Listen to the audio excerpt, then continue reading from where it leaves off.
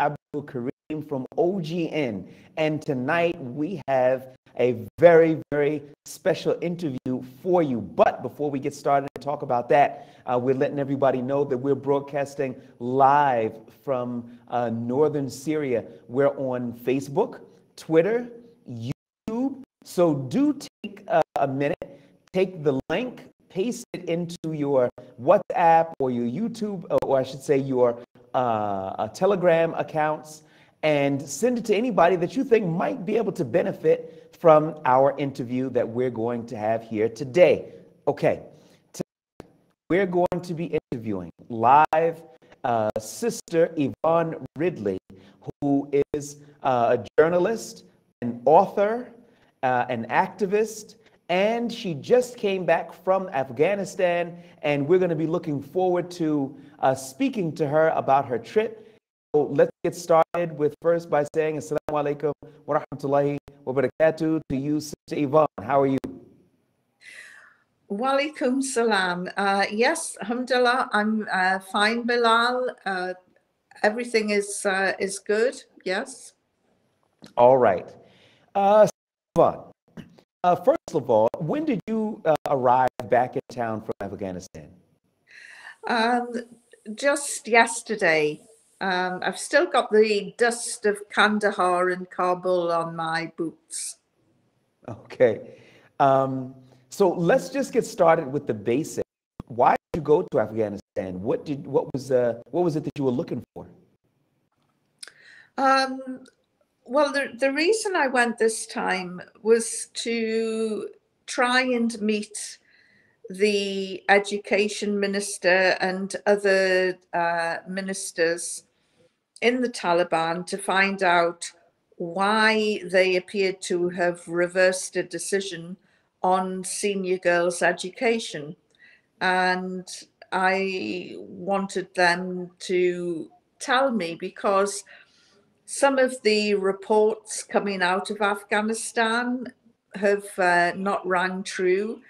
And I think that there's growing distrust of the mainstream media and its handling of matters coming out of Afghanistan. There seems to be a one dimensional agenda, which is uh, Taliban are bad and, uh, and every bad thing that's happening in Afghanistan is their fault. So I wasn't convinced by this narrative, so I wanted to go and see for myself, you know, what is happening on the ground there. Well, you went and you saw.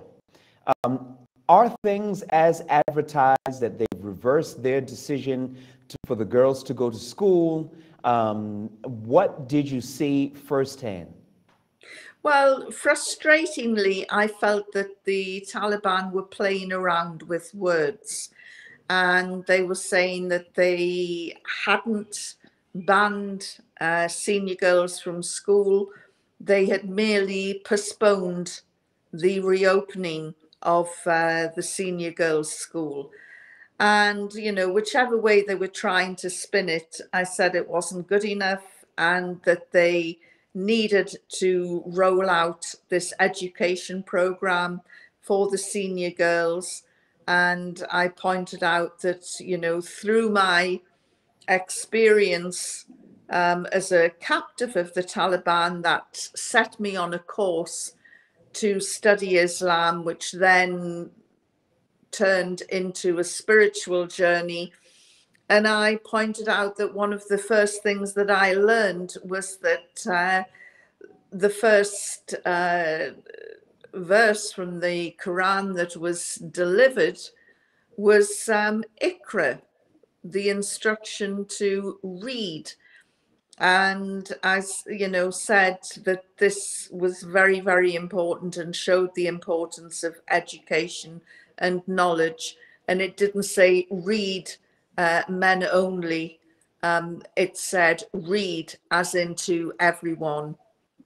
And it was a bit like knocking on an open door. The education minister agreed and uh, said that he believed that uh, boys and girls had equal rights when it came to education and that there should be no difference.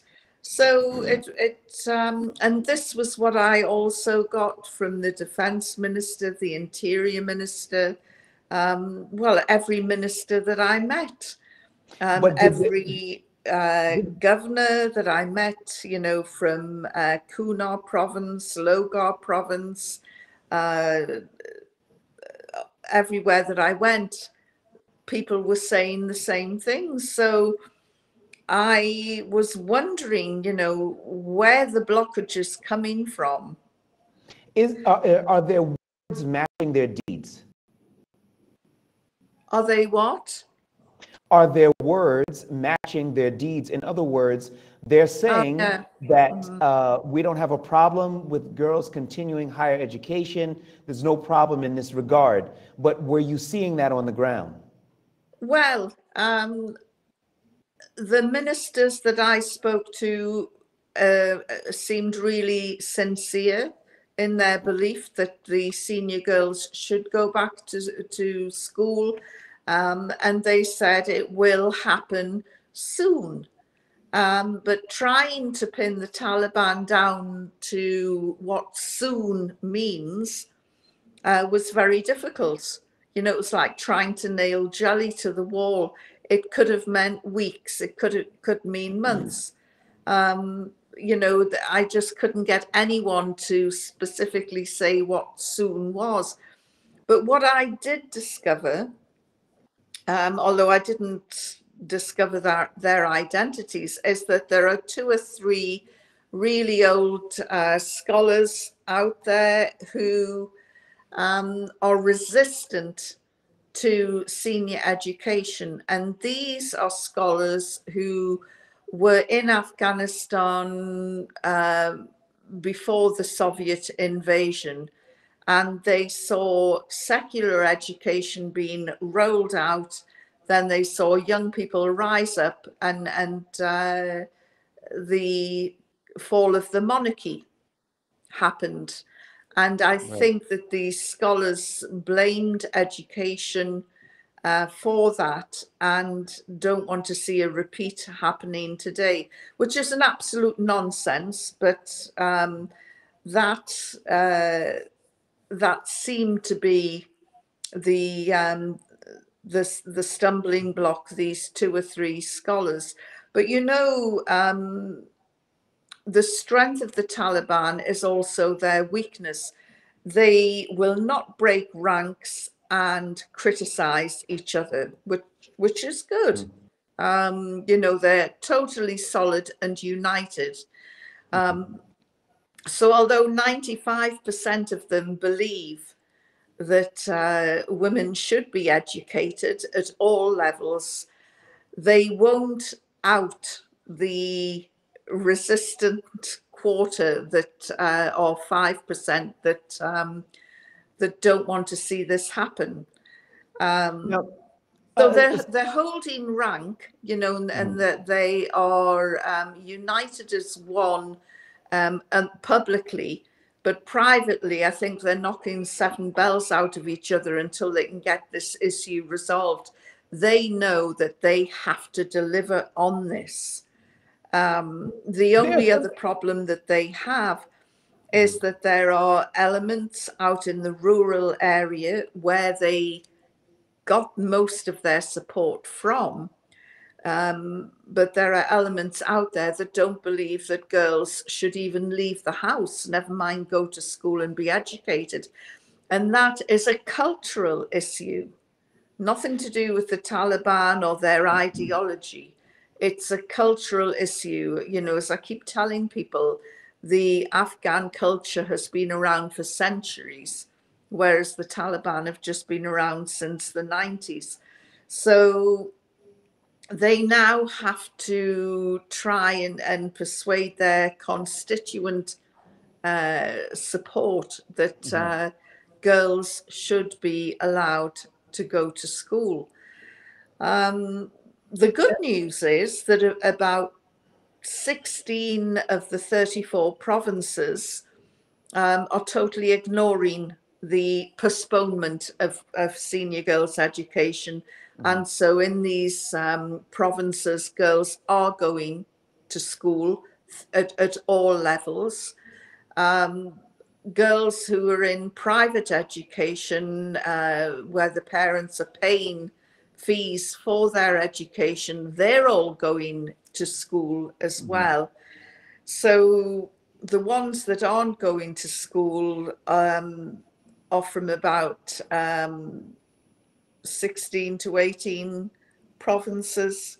Mm-hmm. Um, now, somebody might be watching this right now and then mm-hmm. say, um, look, we need to give them a chance to deliver on their promises. Some people would also say, look, we've already given them a chance.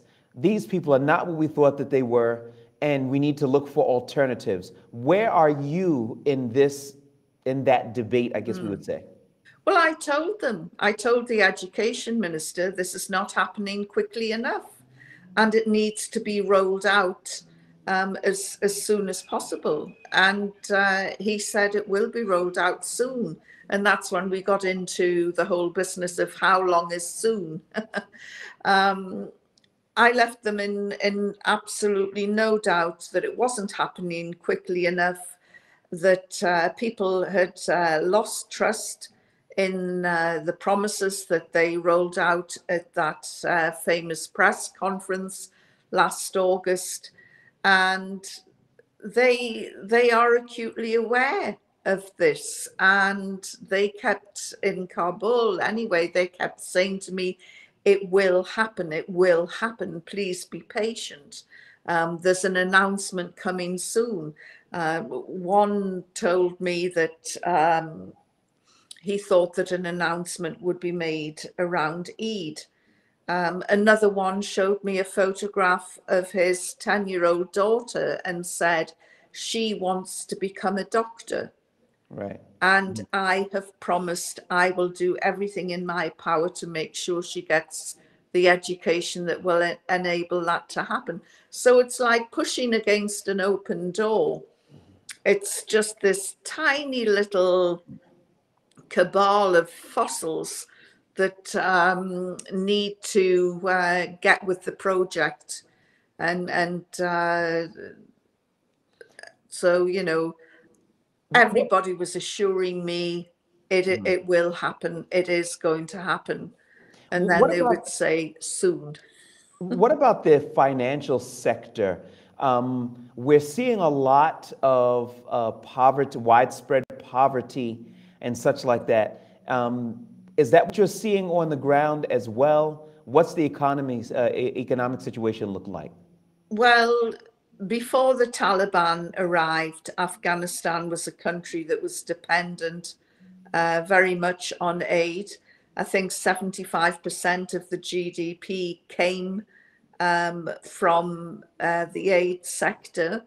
It didn't change uh, when the Taliban took power. But of course, what did change was that um, on the upside, the corrupt government, which had been pocketing all the people's money, um, has gone. On the downside, the international community led by America have frozen all the assets and the banks.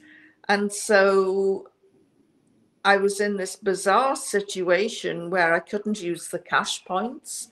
The cash points don't work. The banks are closed.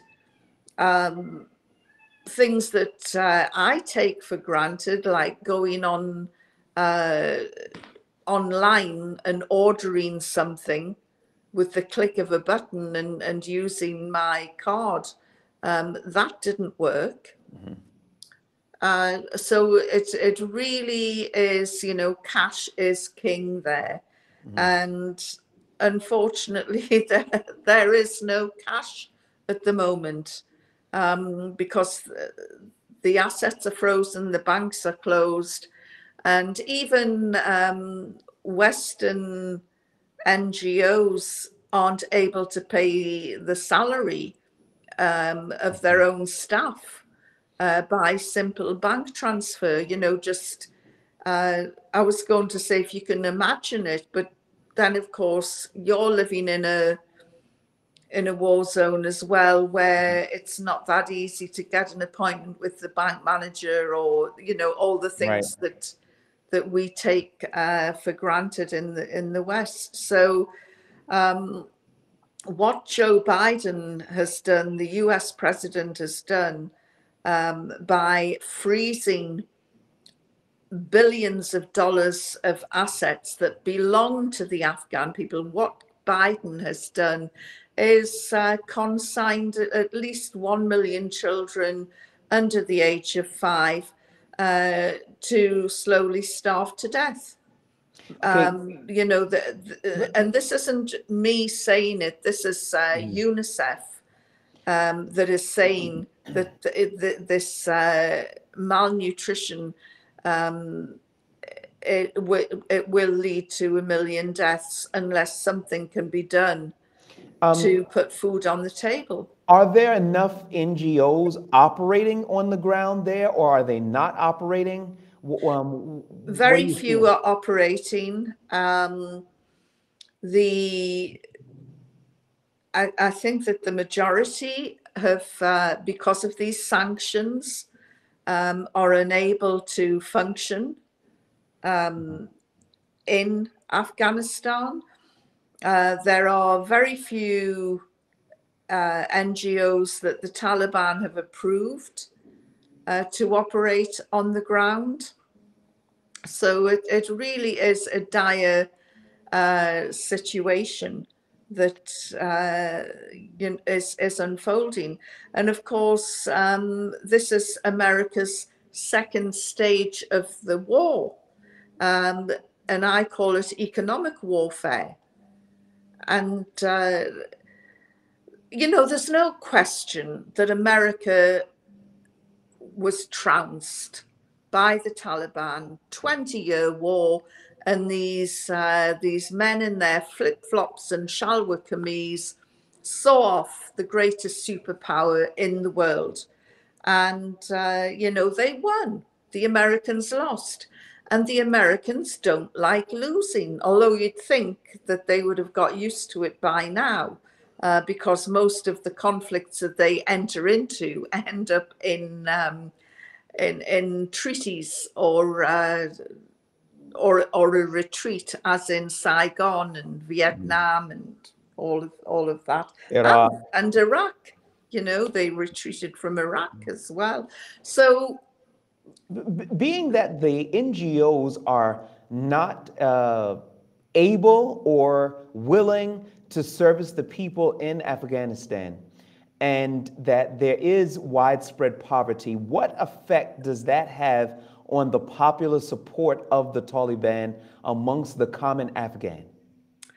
Um, the Afghan people are, are very stoic. You know, that they uh, they can see what is happening. Uh, they have learned that the international community um, isn't reliable, and they they're very much you know this is the will of Allah and the the only Afghans who are in absolute denial and and spitting feathers are the uh, English speaking elite who fled Afghanistan uh, with the Americans and the other uh, NATO forces. And uh, they are sitting from afar um, absolutely fizzing that the Taliban are now ruling because they just never thought it would happen.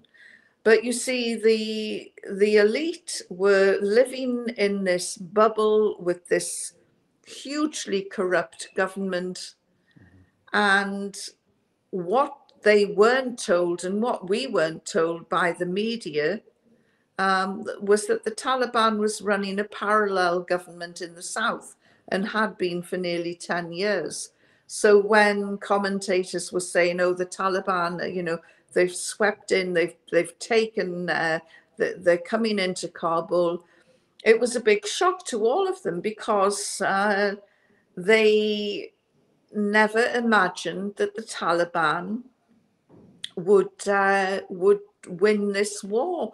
And you know, statistically, uh, there was about 70, 75,000 Taliban, poorly equipped, uh, wearing, you know, shalwar kameez um, and, and flip flops. And they were fighting uh, after the, the US forces, but they were also fighting this um, high tech, high powered uh, Afghan National Army that had the top kit, um, armor plating, and and uh, uh, top weapons, and they defeated matter. them. Mm-hmm. And that came as a as a shock. Um, why it came as a shock, I've got no idea because I think the biggest clue happened in uh, February 2020 or 2021 when they they signed the Doha agreement right. between America and the Taliban. And that should have been the biggest clue that America was going to uh, quit and run.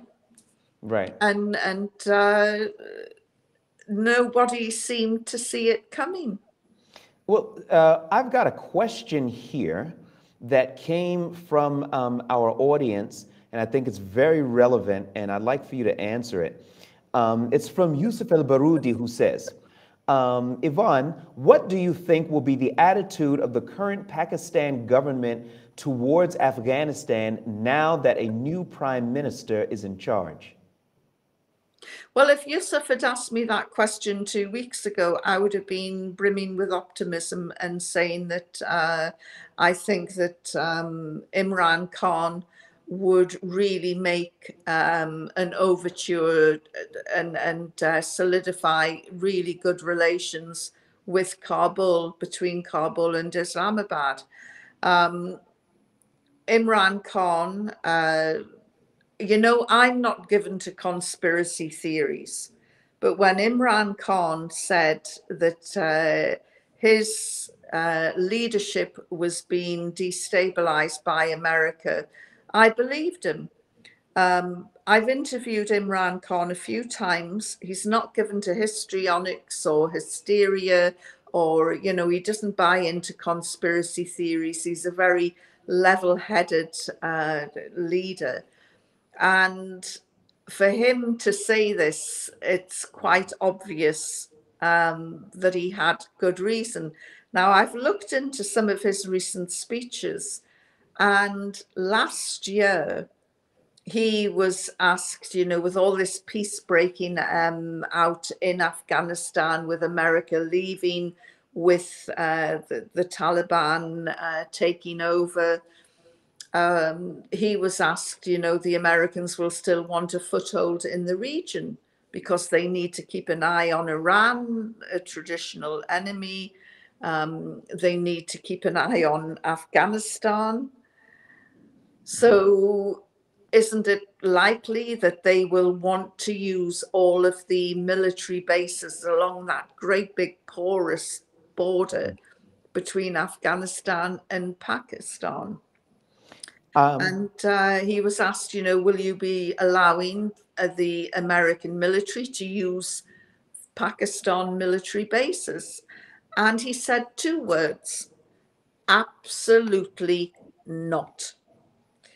That will not have endeared him to Washington. Washington needs a foothold in that area. It's got Russia in there, Iran, Afghanistan. It needs a foothold. Right. And uh, Pakistan is the the likely country. And Imran Khan, he's not anti-West. His his sons are are living in uh, Britain. Um, he's not anti-Western at all. But what he has been wanting to do is to distance and uh, distance Pakistan from uh, reliance upon the West because right. as any uh, previous friend of the, the West will tell you, you know, we are very fickle friends. And, um, you um, know, Saddam Hussein could tell you that if he was still alive. The same with um, Gaddafi. Uh, the same with the Kurds. The Kurds have been shafted by America on many occasions. So um, he's distanced Pakistan from Washington and he's moving more towards R- Russia and China. Right. Which trading wise makes sense. You know, they're in the region, and uh, Pakistan and Afghanistan are right on that Silk Road route that uh, Beijing has been eyeing up for a long time. And so it, it makes sense. And this is uh, America does not want uh, that to happen. So it's quite possible that they have set about to destabilize his uh, his position. Um, and um, let, let, me, I'm sorry, let me just jump in here and, and all, because I think there's a good uh, question here that I I'd really like to know what your thoughts are. Uh, Taji Mustafa says, criminal that kids are starving in Afghanistan while Muslim countries nearby have wealth. Muslims everywhere should be demanding aid is sent from Muslim countries. That is an Islamic duty upon us all. Why aren't Muslim countries sending aid to Afghanistan? As a state, I'm not talking about individual citizens, mm-hmm. I'm talking about as a state. Well, uh, funnily enough, while I was out there, the OIC was holding a meeting, so maybe um, that will change, but it's something that uh, should have been happening from last August. Uh, and and uh, but we you know we know that um, a lot of these Muslim countries uh, the spirit of brotherhood the concept of ummah is completely alien to them. Um, these rulers, it's all about uh, about their power and influence, and and less to do with um, the concept of the Ummah, the the spirit of uh, brotherhood. What are you expecting to come next from Afghanistan? Um, are you expecting good things to come? Are they just completely racked by financial issues? So don't expect anything anytime soon. What was the spirit on the ground? Well, you know, life has always been hard in Afghanistan, certainly in the last 50 years. So the ordinary Afghan people are no stranger to hardship. And uh, as I say, 75% of the GDP was provided uh, through aid.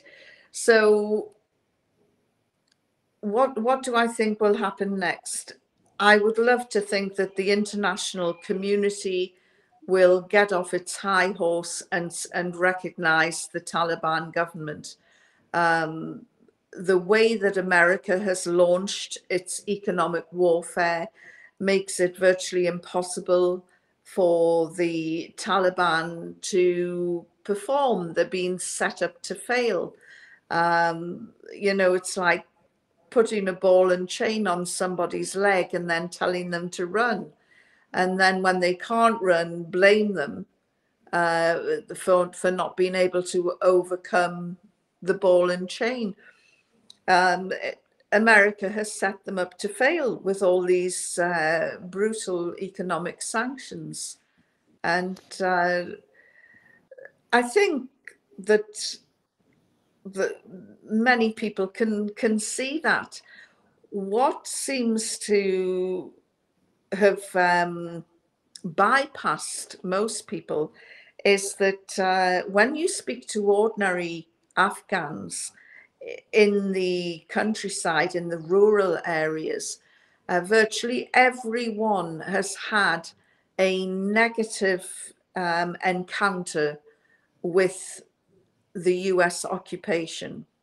Sure. Women who've lost husbands, who've lost sons, um, who've lost fathers. And, you know, they have really large families. And if you upset one Afghan, you can virtually count on really upsetting 50 more.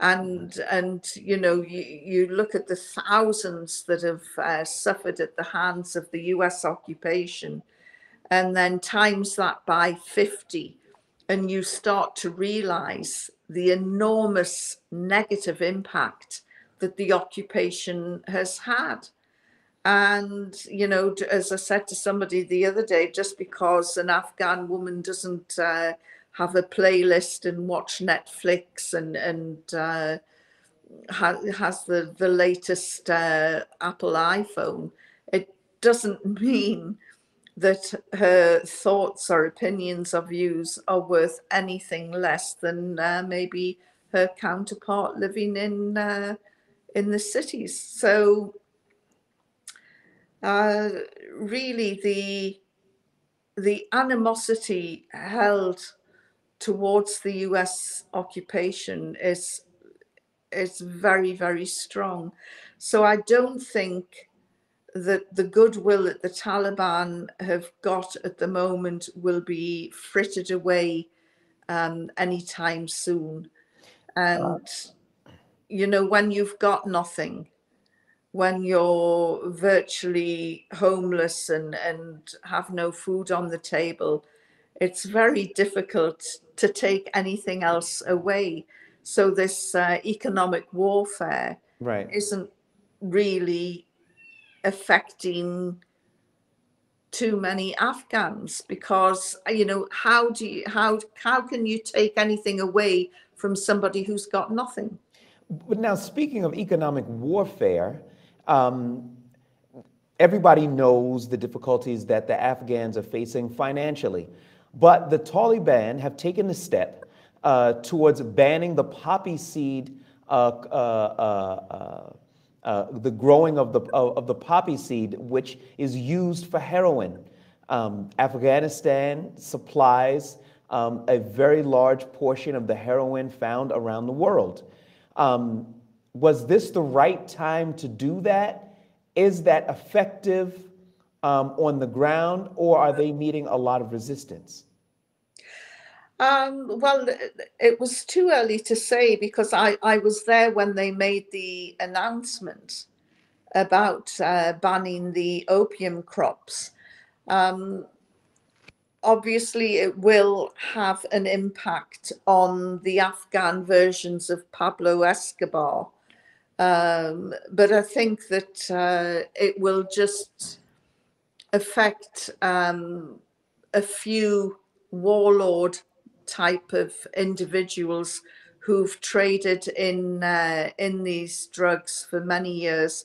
The Afghan farmers, the the poppy growers, they might be pretty annoyed because uh, it's an incredibly easy crop to grow, and you can get two crops in a year, and it's not that labor intensive. So um, the farmers might be disenchanted, but um, you know maybe they'll be given another incentive. The real impact is going to be felt in the West, and I have spoken to a few politicians in Scotland about this because Scotland has quite a serious drug problem. And I said drug prices are going to shoot up, which means that crime will escalate. Right. And and uh, this is going to have a really negative impact um, in the West. Right. And I think it'll have more of an impact in the West than it actually will in Afghanistan.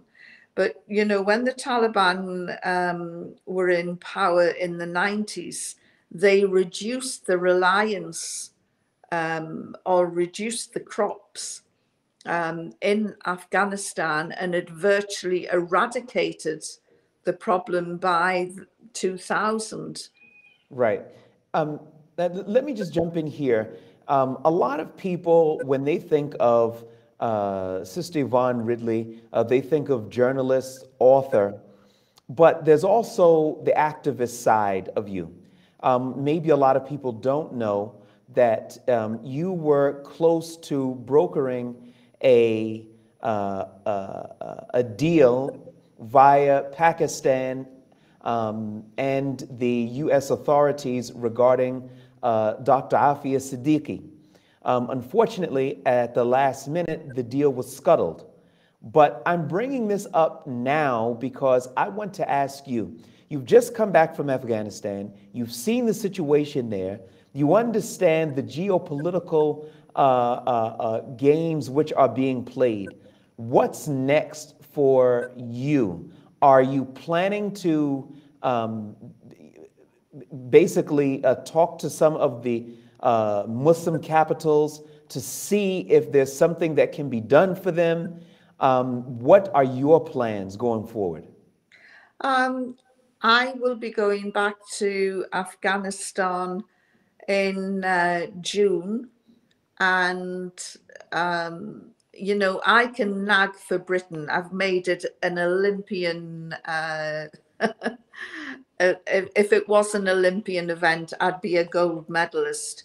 I will be going back, and if uh, the girls' schools aren't um, opened or reopened by the time I get back, I will really um, nag for Britain um, over this uh, issue.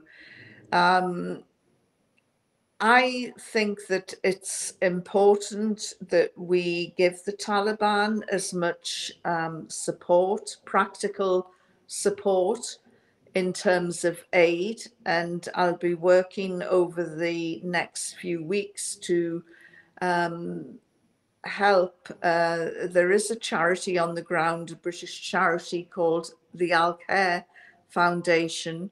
I think it's uh, it, it's also on the ground in uh, northern Syria, mm-hmm. and um, they want to unveil a very ambitious school building program.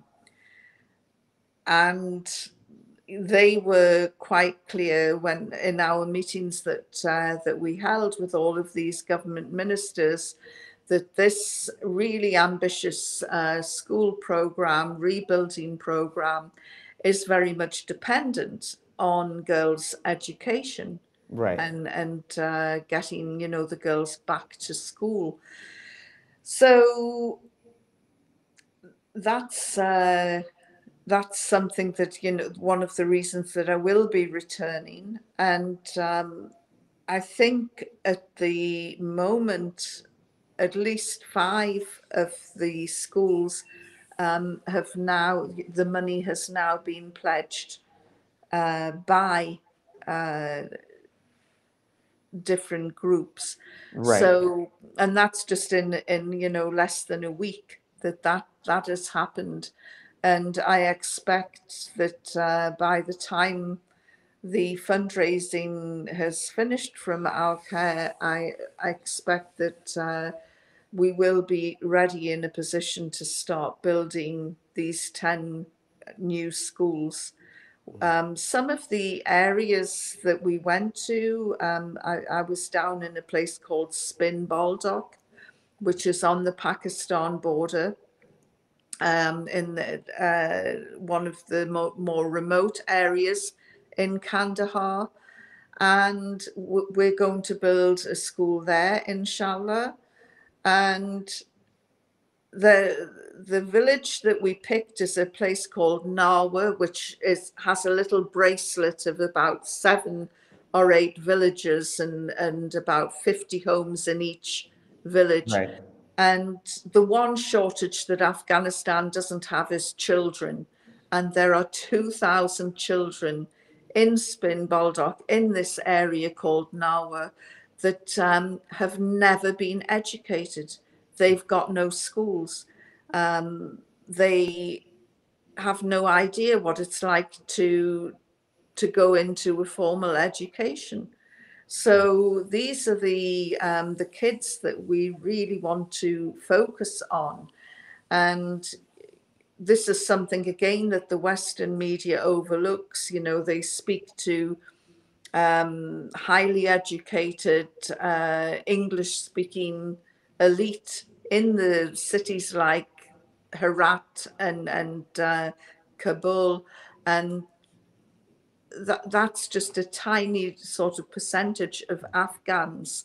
There are four million Afghan children who have no idea what the inside of a classroom looks like.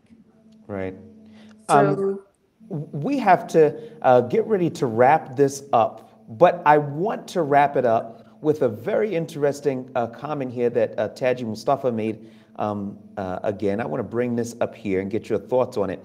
He says, the Taliban should reach out to the Muslims globally to help them. We have Muslim experts in many fields and are ready to help. They mustn't make the mistake of making this an Afghan issue. Is that what they're doing? They're making this an Afghan issue. Are they open to um, help from the Muslim world? Uh, of course, we're talking about sincere help. Um, what are your thoughts about that? the one thing the Taliban will not do is compromise in any way on their Islam. So I think that they've got more chance of agreeing to or accepting help from the Muslim world than uh, than say from the West. Um, but also historically, uh, what Muslims must realize is that the Taliban have never had ambitions beyond Afghanistan's borders. Um, Th- th- They may have- never uh, they've never taken their fight uh, for independence beyond their borders. Now, they may have never taken outside of their borders, but are they willing to um, uh, accept uh, an influx of technocrats from around the, the Muslim world to come in to live amongst them and to help them? Are, are, are you getting the impression that they are uh, flexible to that? Um, it would be very much on their terms. And as they once said to me, and it, it seems to be repeated at the moment, um, when the Arabs came to their country, they came as their guests, but very soon turned into their masters or tried to become their masters. And I don't think that they, uh, the Taliban, will allow that to happen again. Um, they made a lot of mistakes in the 90s, and I don't think that they will make those same mistakes again.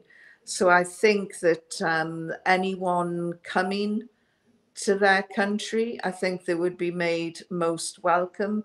There has been a real brain drain, and so I think that they would welcome um, a reverse of that, and and uh, but I think it would be very much on their terms, um, where they would retain uh, control. Uh, finally, you made mention that you are trying to build uh, some schools there in Afghanistan. Is there a way that someone could contribute? Because we have people who are asking this question. Um, is there some uh, charity, organization, or such like that? If they'd like to contribute to that, how can they do it? Um, go onto the website of the Al Khair Foundation, and uh, Can you give be- us that uh, th- that uh, address? um, A L K H A I R. I think it's dot org, O R G. Um, but it it uh, it uh, it's based in London, but it operate. It's the third largest Muslim charity um, in Britain, and what I like about it is that it's incredibly transparent. Right. So if you give um, £10, uh, you can follow that donation through to the to its conclusion. Okay. All right. Well, we're going to have to leave it there. Um, we want to thank you, thank our guests, uh, Dr. Yvonne Ridley, who just came back from Afghanistan, for helping us to understand these nuances in terms of what's been going on there on the ground. Uh, Dr. Yvonne, we want to thank you, and um, hopefully you'll come back uh, when you go back again. Absolutely. Yeah. Thank you so much for inviting me and, and solidarity to you and yours out in Syria. Jazakallah khair. Uh, I am Bilal Abdul Kareem for OGN here in northern Syria. Jazakumullah khaira. Wassalamu alaikum wa rahmatullahi wa barakatuh.